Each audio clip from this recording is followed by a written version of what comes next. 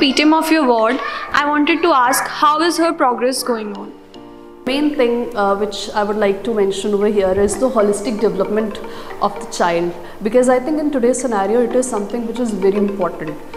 Like Yeah. academics matters, I know, but uh, in today's scenario it's important how your child behave and you know there are so many things like problem solving, uh, like.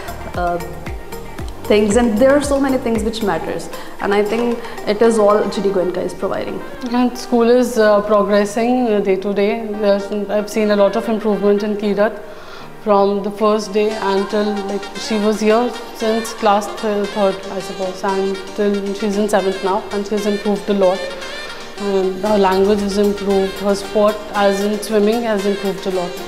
Um, I am very much sat- uh, satisfied with my ward's performance as they are doing very good in every field. Teachers are just like their parents and they are supporting so well and all the sports activities are taken care of. In swimming, uh, my kids are doing swimming and skating and football and all the coaches are very friendly and good to our kids and all other kids also. Sir बहुत मेहनत करा रहे हैं sir ma'am और अच्छा करा रहे हैं लेकिन बच्चे उतना अच्छा नहीं कर पा रहे हैं लेकिन धीरे धीरे ये है सर कराएँगे तो बच्चे करेंगे भी अच्छा।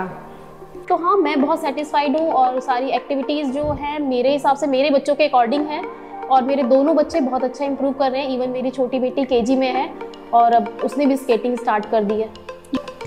Progress is good My child is doing good M Aarav all over एक अच्छा बच्चा है और ये कराटे करता है। कराटे में अभी मेरी तरफ़ से वो अच्छा कर रहा है बट इससे भी बेटर कर सकता है।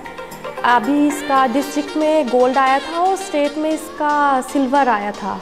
अच्छा कर रहा है बट इससे अच्छा हो सकता है।